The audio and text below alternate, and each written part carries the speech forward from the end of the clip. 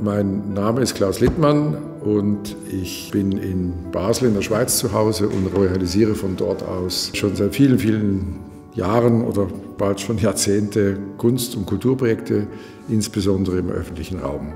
Es ist ein Mammutprojekt, das ist klar, aber es ist eben ein, ein Projekt, das, glaube ich, wirklich eine ganz entscheidende und klare Berechtigung hat. Und es ist wirklich ein Projekt, wo ich auch eine Notwendigkeit drin sehe. Und die bekam ich natürlich auch immer wieder bestärkt darin, dass es Menschen gibt, die mich dabei ganz massiv unterstützen und denen das auch wirklich völlig egal ist, ob das Projekt jetzt in der Schweiz, in Basel oder in Helsinki oder in weiß Teufel wo ist. Es ist jetzt in Klagenfurt, weil es dort eben möglich ist. Und das zeigt mir eigentlich eben auch auf, die Dringlichkeit des Projektes und die gibt dir immer wieder die, den Anschub und die Kraft, eben da dran zu bleiben, bis es jetzt funktioniert.